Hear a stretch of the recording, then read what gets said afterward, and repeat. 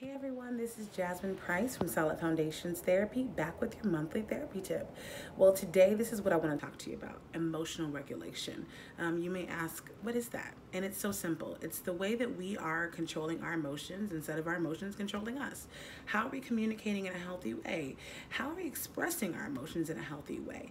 And so, one of the tools that I've been using with my clients that I found to be so helpful is a DBT intervention called Check Your Facts um, I have seen how helpful this tool can be. So let's get into it. The first question is What event triggered your emotion?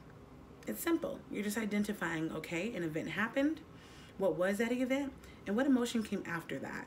The second question is What assumptions or interpretations am I now making about this event? I think emotions are wonderful. I think that we should always feel emotions, but I think that sometimes when we allow our emotions to lead us, they can lead us to start thinking things that sometimes are not always true, right? Or allow us to start feeling things that maybe are not always true. I'm not telling you to ignore them, but I am telling you there's a way to healthily express them.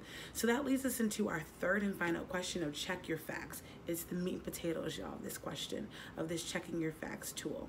It is have my emotions, right? Do my emotions and the intensity of my emotions match the assumptions of the situation or do they match the facts of the situation? So here's a quick example, right? Say for instance you're sitting down with your partner and you know they're not really talking as much or you're watching a movie and they're not being that engaged. Maybe, you know, that's an event that triggered an emotion. Your interpretation could be, well, he doesn't care about me or she doesn't care about me or she doesn't want to spend time with me.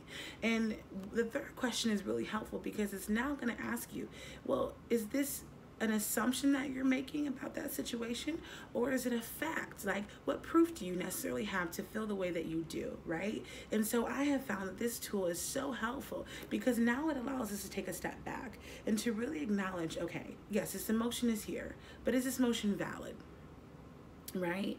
And how do I want to now communicate that emotion so that it doesn't now attack or inflict my partner in a way that is unhealthy? So, guys, I hope that you find this tool helpful.